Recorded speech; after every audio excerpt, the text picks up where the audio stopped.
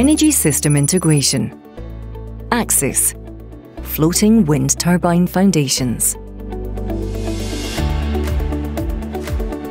Europe will need between 230 and 450 gigawatts of offshore wind by 2050, four times the planned UK capacity.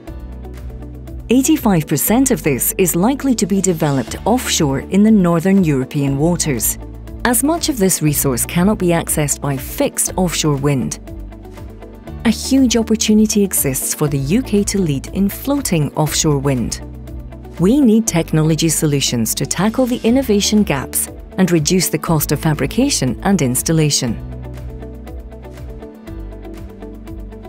Axis has developed a new floating foundation solution based on proven oil and gas technology. Originally designed to provide subsea midwater arches in the Buchan Alpha field, the tension leg buoy concept has now been optimized to provide a foundation for floating offshore wind turbines. The concept minimises both the weight of the steel structure and the fabrication costs, while maximising turbine stability and the total energy capacity. The technology could provide stability for the largest floating offshore turbines.